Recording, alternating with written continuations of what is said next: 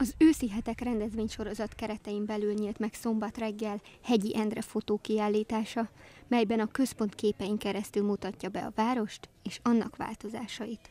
Azt hiszem, hogy mikor ezeket a képeket nézegetjük, mindenkinek, aki már azért leélt néhány évtizedet és valamennyit élt a szocializmusban, eszébe jut az a mondat, hogy a múltat végképp eltörölni.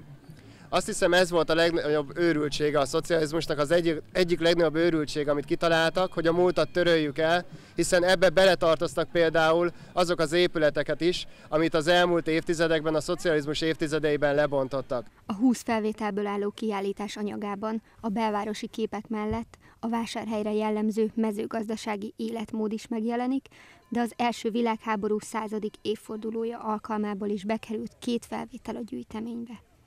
A tárlat célja az emlékek felidézése és a helytörténet ápolása. Itt most felállítottuk a standot, nagyon sokan egyből nosztalgiáznak, beszélgetnek róla, és ez nagyon inspirál, hogy további gondolatok kavarognak az agyamba, hogyan lehet ezt tovább,